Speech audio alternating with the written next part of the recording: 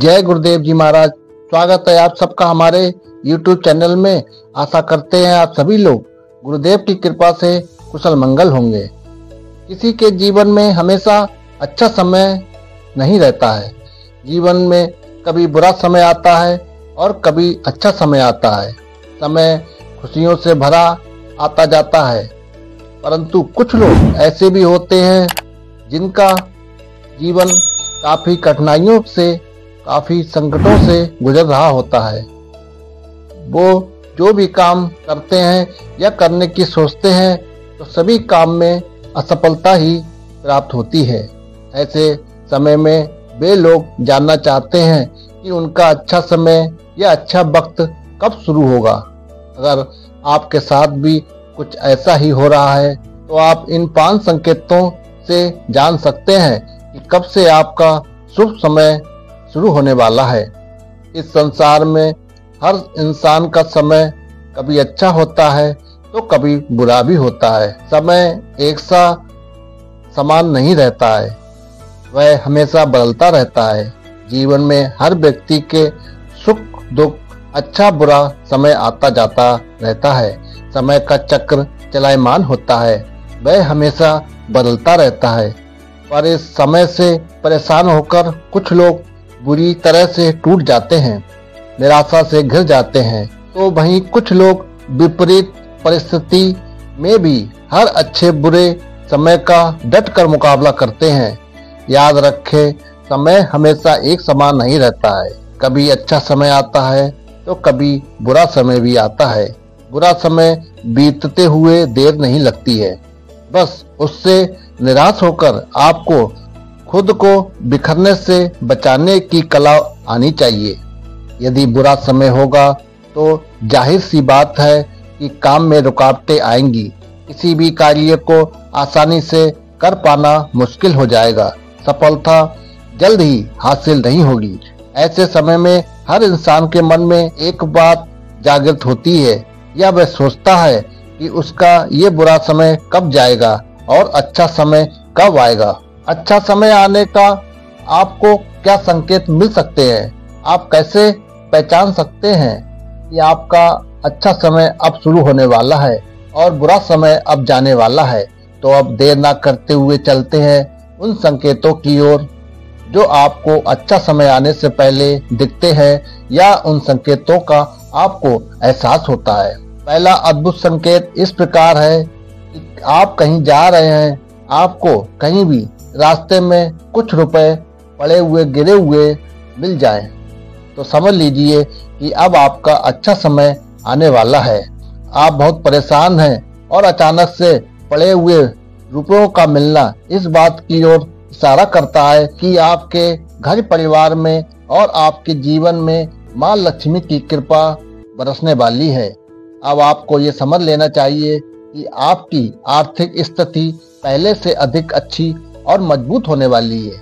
आपके जीवन में चल रही सभी परेशानियों का अंत होने वाला है। आपको अब प्रत्येक कार्यों में सफलता मिलने वाली है।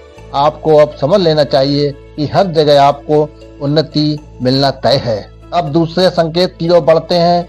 दूसरा संकेत इस प्रकार है, अगर आपके घर के आँगन में या दरवाजे के मुख्य द्वार पर आग का पेड़ उगता है, जिसे लोग अकौआ का पेड़ भी कहते हैं। इसकी पत्ती अगर तोड़े तो उसमें सफ़ेद दूध जैसा निकलता है। लोगों का मानना है, ये दूध अगर किसी की आँख में पड़ जाए तो वह अंधा हो सकता है।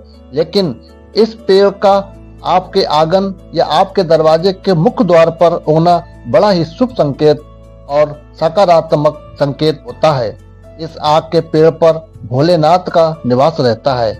आप समझ सकते हैं कि अब आपका अच्छा समय जल्द ही शुरू होने वाला है और बुरा समय अब जाने वाला है। बस आपको सुबह उठकर एक लोटा जल का इस पेड़ पर चढ़ाएँ। आर्क के पेड़ का उगना बहुत ही शुभ माना जाता है। अब चलते हैं तीसरे संकेत की ओर। तीसरा संकेत इस प्रकार है, अगर आप जीवन में किसी कठिन परिस्थिति से गुजर रहे हैं, तब पक्षियों का आना उनका घर के मुख्य द्वार पर आना बहुत ही अच्छा और शुभ संकेत है।